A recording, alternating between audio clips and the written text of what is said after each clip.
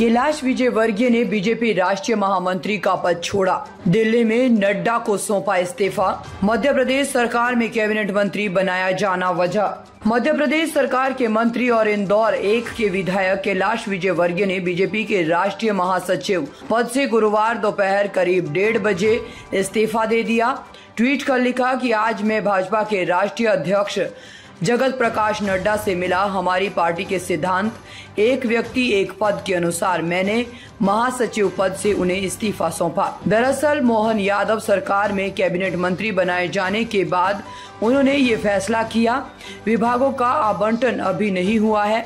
विजय वर्गीय ने कहा कि मैं प्रधानमंत्री जी का संकल्प वर्ष दो में भारत विश्व का शक्तिशाली देश बने। इस दिशा में मध्य प्रदेश को शक्तिशाली बनाने के लिए हम प्रधानमंत्री नरेंद्र मोदी राष्ट्रीय अध्यक्ष जेपी नड्डा और गृह मंत्री अमित शाह के नेतृत्व में कार्य करेंगे।